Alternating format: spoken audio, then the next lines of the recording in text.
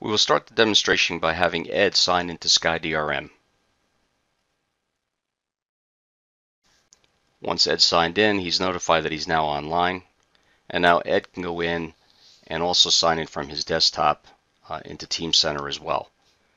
So he'll be signed into both SkyDRM locally on his desktop as well as signing into Teamcenter from that same desktop.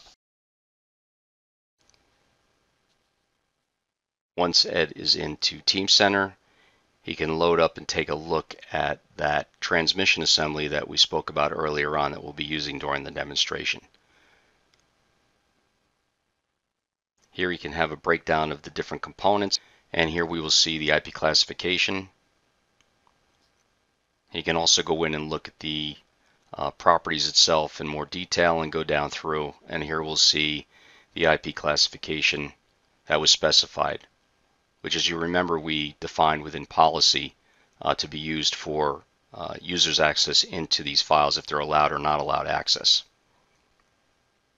Ed will now take a look through the structure manager and here we can see a breakdown of all the materials. In this case we're going to see that as well as the IP classifications that are specified for each of these parts and the assembly itself. So here we can have a drop down look at the values. He could change these up if need be uh, depending on the needs, as well as the NextLabs being able to protect that, uh, which is one of the uh, seamless integrations between Teamcenter and SkyDRM. Here you can take a look at the full assembly of the transmission. He can now load up the NX client. In this case, we get the full view from the NX client of the transmission as well as the subassembly. So since Ed is in the headquarters, he has full access to the entire transmission and the subassembly, which you're seeing on the right-hand side. He can go in and look at the different rights that's been applied to it from NextLab. So in this case, we're going to get a listing of information that'll show, based on each of these parts, what they can actually do with them. So in this case, view, print, save, so on and so forth. Or if a part's not protected, it also shows that as well.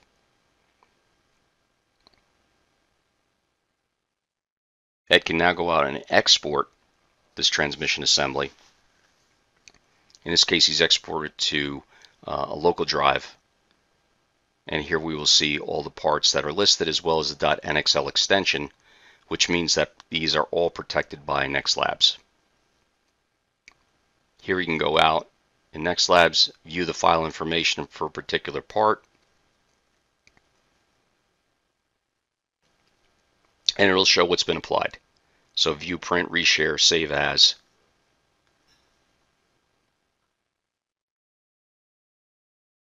Again, you can look at different parts and show the different rights that are applied to each of these.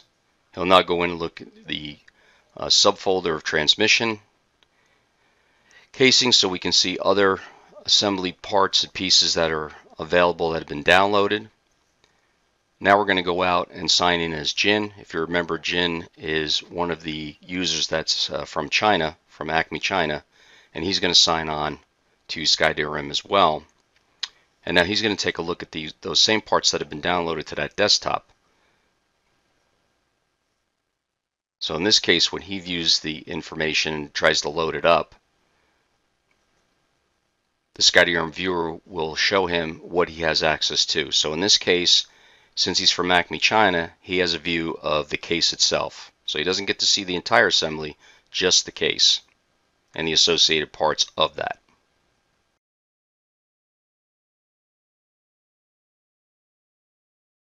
Here we'll see that if he views another file, it'll load up and he can actually see a breakdown of the case components in the different pieces that make up the entire case assembly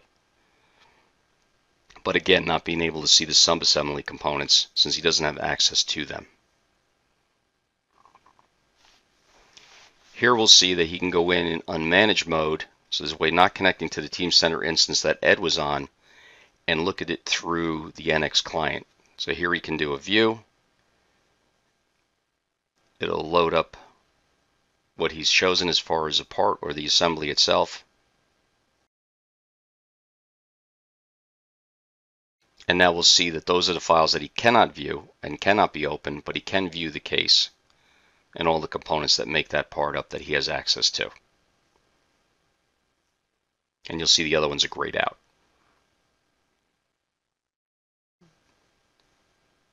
And the objects that he can view, he might have only read-only access to. And he can uncheck or check the ones that he can see, but the other ones will remain grayed out and he doesn't have the access to them. He can also look at the file rights here. And again, it's going to show the same thing that we saw earlier where the, the ones that he can't see and the ones that he can see in this case are protected and what he has capabilities for those particular files that he could see. Now our last user, Sanjay, if you remember Sanjay's from India LLC Acme, he's going to go out. He's logged in through uh, SkyDRM desktop. And again, he can view and look at those parts uh, through the SkyDRM viewer as well. But as you can see here, he can see the subassembly components. He does not see any part of the case because he doesn't have access to it. Here he can expand out the list again.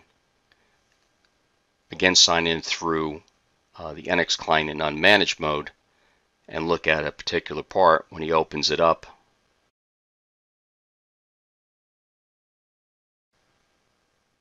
Here we'll see that there are certain parts that are protected again because he doesn't have access to them, but he does have access to the ones that he's allowed based on policy decision that was made based on that user and the attributes of both the files as well as what was defined within Active Directory. So here he can see that subassembly but can't see any of the case.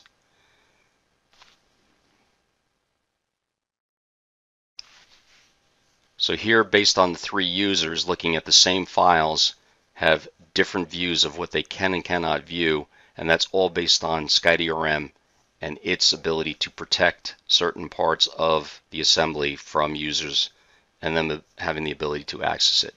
And here we'll see Sanjay at the end being able to use the SkyDRM viewer